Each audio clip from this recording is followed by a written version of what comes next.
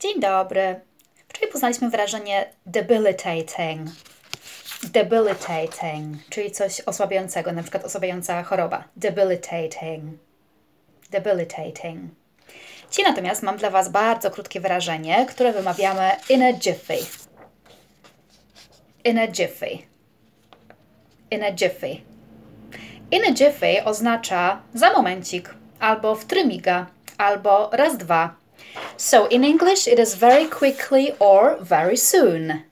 Very quickly or very soon in a jiffy.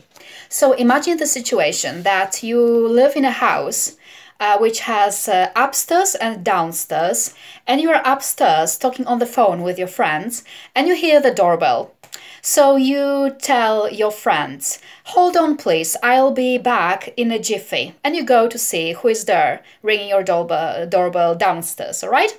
So the sentence is I'll be back in a jiffy. Wrócę za momencik. I'll be back in a jiffy. Right? I'll be back in a jiffy. Będę z powrotem za momencik. W trymiga. Raz, dwa.